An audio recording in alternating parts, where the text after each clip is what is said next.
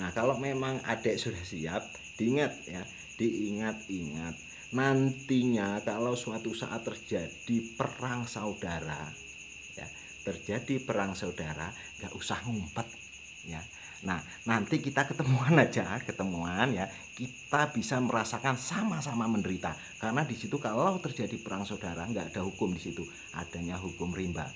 Assalamualaikum warahmatullahi wabarakatuh. Masih bersama saya Hendra Tetap di channel Hendra Berbagi. Dan sahabatku Untuk kesempatan kali ini coba saya akan membahas sesuatu hal yang beda ya. E, Tentang Kalau saya bilang Ancaman Ketua BEM UI kepada Presiden Jokowi. Nah ini saya buat video seperti uh, ini karena apa?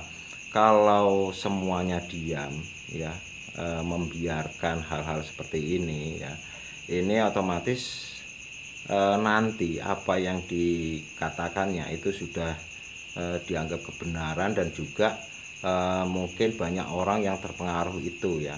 E, karena sesuatu hal ya e, yang disampaikan terus-menerus itu walaupun itu salah itu bisa dianggap satu kebenaran. Sebagai contoh misalkan hmm, orang mau beli pipa air ya pipa air eh, karena kebanyakan orang menyebutnya paralon sehingga eh, sampai sekarang kalau kita mau beli pipa air itu di toko material pasti kita nyebutnya ada paralon enggak padahal paralon itu adalah merek ya.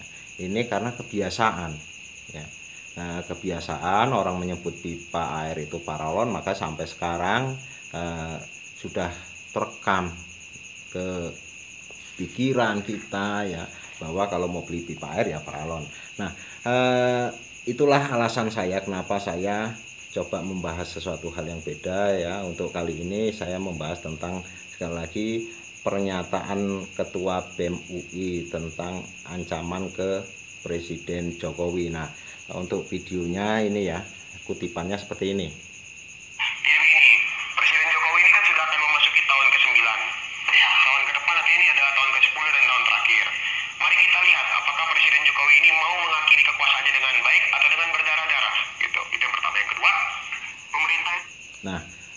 ini pernyataannya Presiden Jokowi mau meletakkan kekuasaannya secara baik-baik atau dengan berdarah-berdarah ya ini ancaman.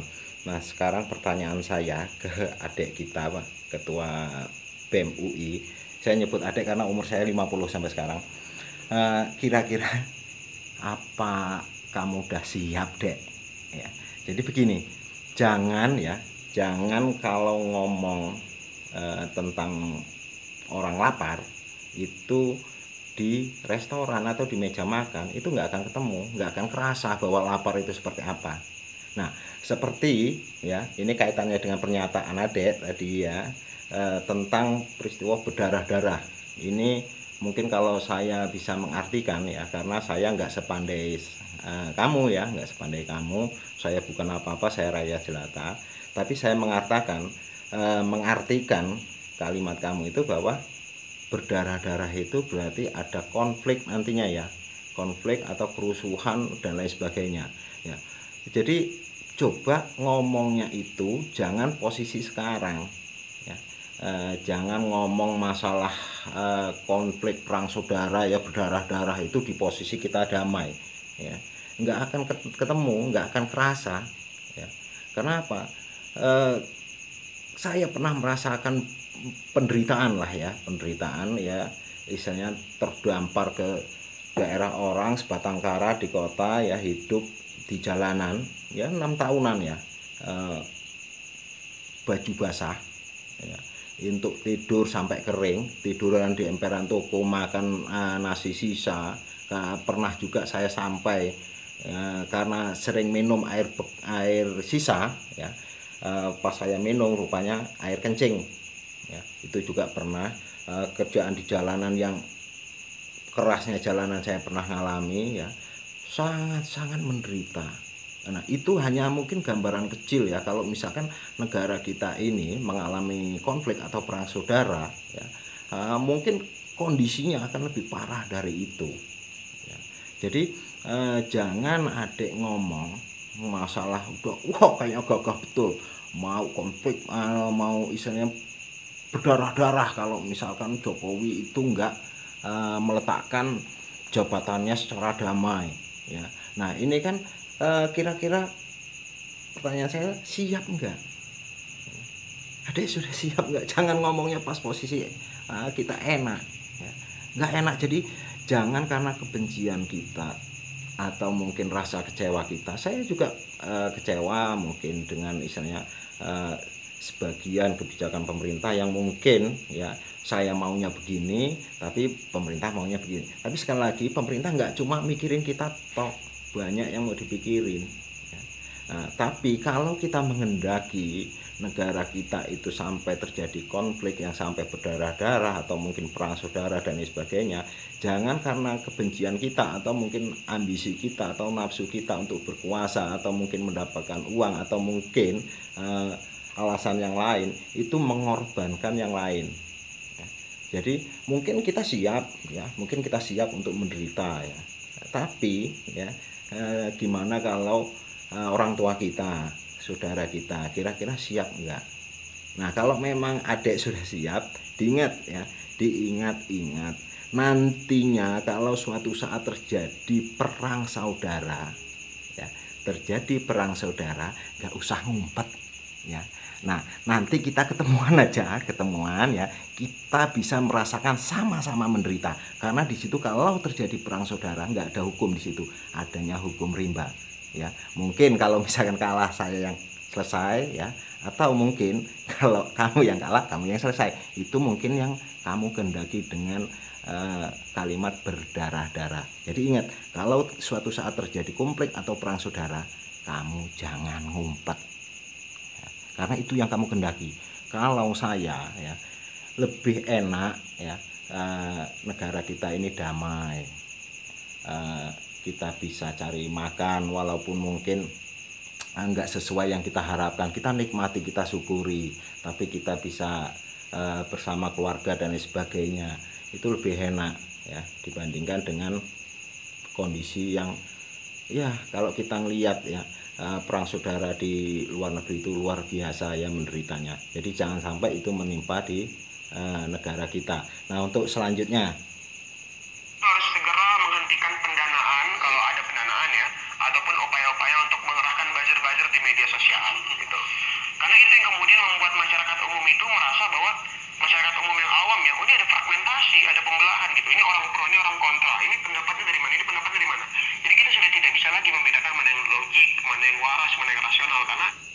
Nah, eh, sekarang kalau misalkan kamu ngomongin pemerintah seenaknya, ya, eh, terus ada yang mencintai presiden ya Pak Jokowi, terus membela Pak Jokowi itu disebut buzzer.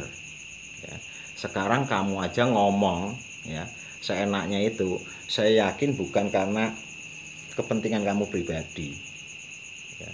atau mungkin ya kalau kepentingan pribadi ya sekali lagi karena kamu ya uh, sudah seenaknya menilai ya presiden kita dengan kalimat bahwa uh, ini buzzer segala macam mungkin istilahnya ada pendanaan ini itu ini itu dan sebagainya. Nah di sini juga beri kesempatan saya untuk menilai kamu ya kemungkinan ya kalau kepentingan pribadi kamu kamu hanya nyari panggung memanfaatkan posisi kamu sebagai ketua BEM UI ya untuk supaya bisa terkenal. Nanti suatu saat ya uh, kalau sudah selesai kuliahnya ya uh, terus uh, ada nanti tawaran dari partai politik ya. Dengan begitu kamu dengan mudah nanti dapat posisi di uh, di situ.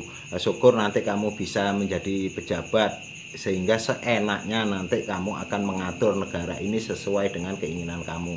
Mungkin kalau tujuan kamu pribadi seperti itu ya. Atau mungkin ya kamu eh, berdasarkan pesanan.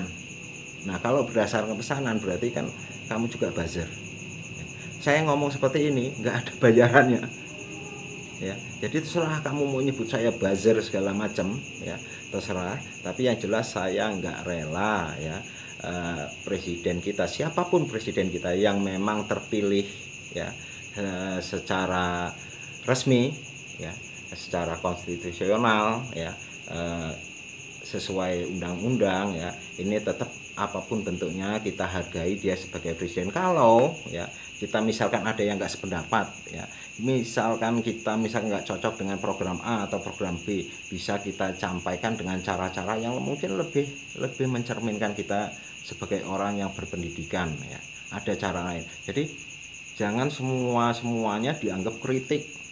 Semua semuanya ngomong keras mina segala macam ngancam segala macam katanya kritik ya.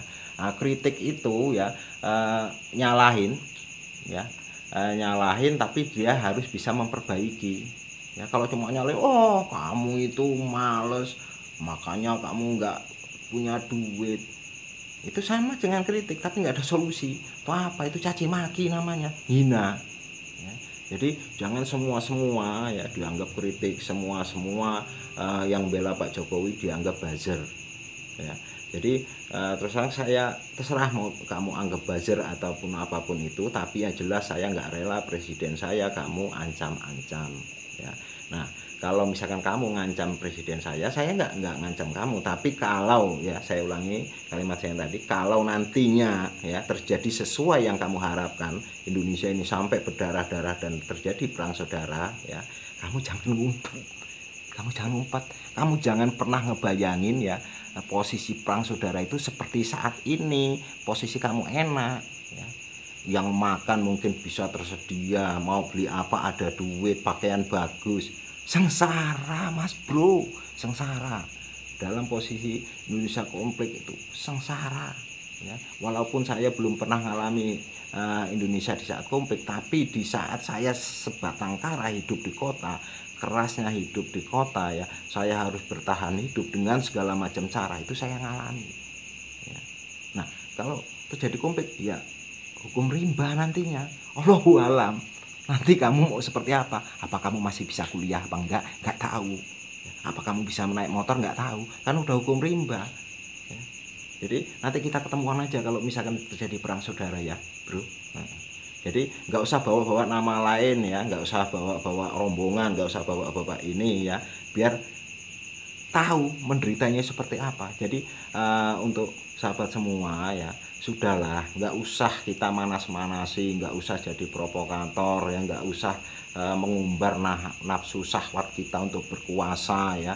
Uh, terus juga mungkin karena ekonomi kita terganggu dengan kebijakan pemerintah sehingga kita ngompor-ngompori yang lain untuk misalnya berbuat yang uh, melanggar ya. Sampai istilahnya ngerahin masa akhirnya ribut. Sementara yang ngerahin masa itu ngumpet ya. Nggak ikut terjun ke lapangan. Coba yang ngerahin masa juga ikut lari-lari ikut dipukul ikut kena timbuk batu segala macam. Enggak enggak mereka yang ngerahin masa itu sudah main duit aja.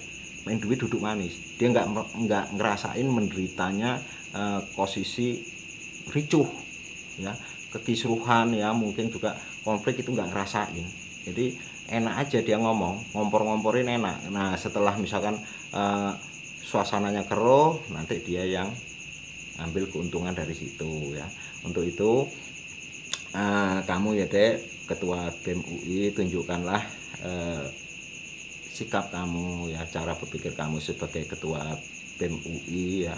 Harusnya uh, mungkin bisa disertai dengan ilmu yang mungkin lebih mumpuni nantinya. Jadi jangan ngandelin hanya emosinya aja keberaniannya. Kalau uh, berani semua orang juga berani. Jangan hanya mengukur keberanian kita sendiri ukur juga keberanian orang ya. Uh, jangan uh, terus menggunakan tameng ya kekuatan ke BEM UI ya untuk berani ngomong lantang ya. Coba seandainya misalkan kamu bukan siapa-siapa ya. Kamu anak orang desa yang mungkin seperti saya yang enggak ini berani nggak ngamu ngomong. Ya, karena nggak ada yang diandelin. Saya juga nggak ada andelin ini aja saya bikin video ini ngeri-ngeri sedap ya. salah-salah ketangkep. Nggak ada backing backingnya nggak ada sama sekali. Nah kalau kamu mungkin ada yang diandelin, enak lantang lantang, wah wah wah wah, ngomong kok kayak wong kentut, diatur ngomong. Kamu itu orang terpelajar, omongannya nggak seperti itu. Jangan asal jeplak. Sekali lagi rusuh itu sengsara. Sekian ya.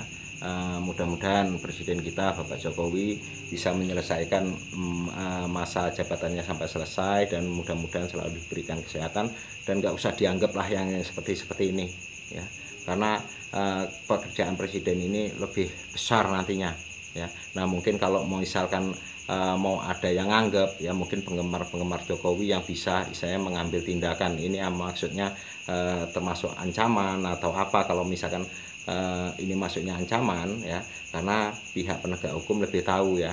Harusnya lebih ditindak ya. Kalau memang ini masuknya ke kategori peng, uh, ancaman. Tapi kalau memang ini bisa dikatakan karena zaman apa demokrasi ya terus dianggap ini kritik ya sudah yang namanya kritik. Tapi kalau saya nilai kritik nggak seperti itu. Sekian lebih dan, kurang saya mohon maaf. Assalamualaikum warahmatullahi wabarakatuh